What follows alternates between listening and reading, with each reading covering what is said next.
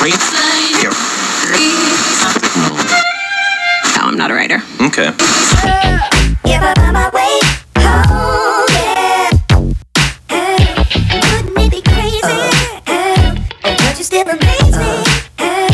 Wouldn't it be crazy?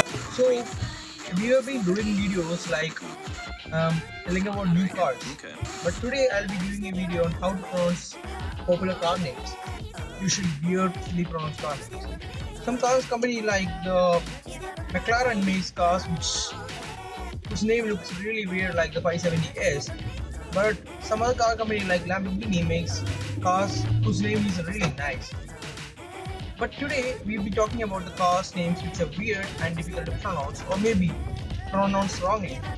First one would be the most mispronounced car name would be BMW. Even I was saying it as BMW, but then I came to know that Germans don't say W, and it is BMW. You should pronounce it as BMW. And next one would be Chevrolet.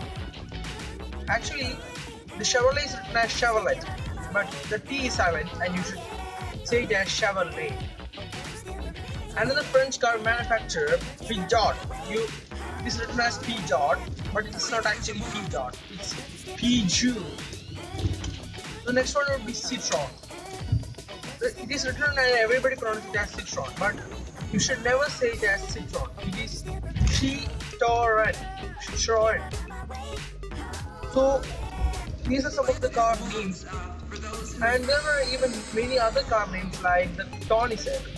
Somebody say it as Pionisek, but it is actually Koenigsegg. On Nizek.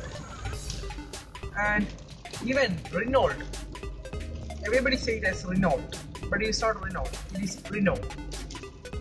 And, and Nissan has launched a car like Qashqai. Somebody say it as Qashqai, but it's actually Qashqai.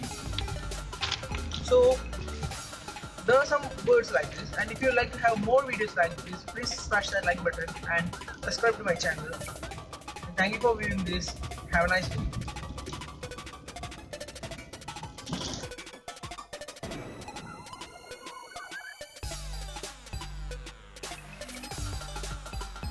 Here. No, I'm not a writer. Okay.